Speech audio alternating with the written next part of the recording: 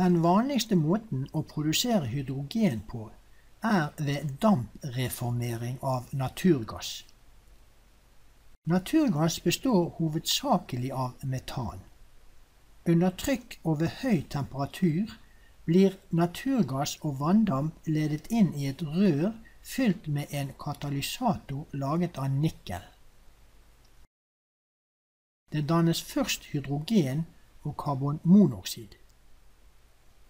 Hydrogenet skilles fra karbonmonoksidet og samles opp. Karbonmonoksidet ledes sammen med mer vanndamp over en annen katalysator, som er en blanding av krom og jern. Og det dannes karbondioksid og mer hydrogen. Totalt har altså ett molekyl metan og to molekyler vann gitt fire molekyler hydrogen og ett molekyl karbondioksid. De energimessige forhold i prosessene kan illustreres i et diagram.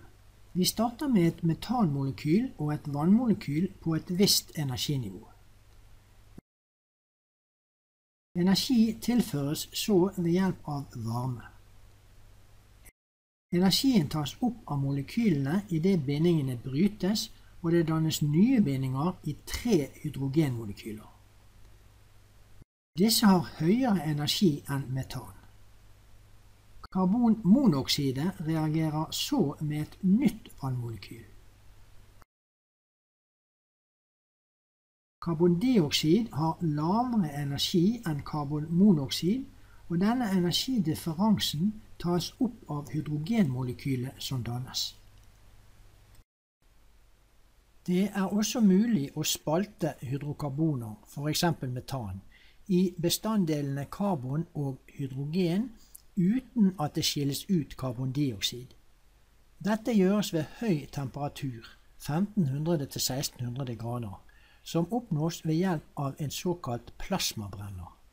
Da er produktene rent karbon, som kalles carbon black, og hydrogen. Ulempen ved denne metoden er at rent karbon har en høyere energi enn karbondioksid. Derfor blir ikke all energien i metanet utnyttet slik som i dampreformeringsprosessen. Karbonblekk kan imidlertid brukes i industrien, bl.a. til produksjon av bildekk. Kværner åpnet en fabrikk for produksjon av karbonblekk i Canada i 1999. I prinsippet kan hydrogen fremstilles fra alt organisk materiale, som jo inneholder hydrogen sammen med karbon. En aktuell råstoffkilde er biomasse, dvs. Si trær og planter.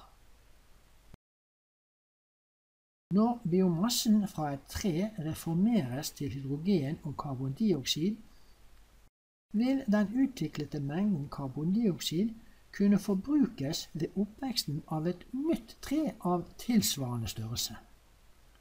Altså er nettobidraget av karbondioksid til atmosfæren lik null.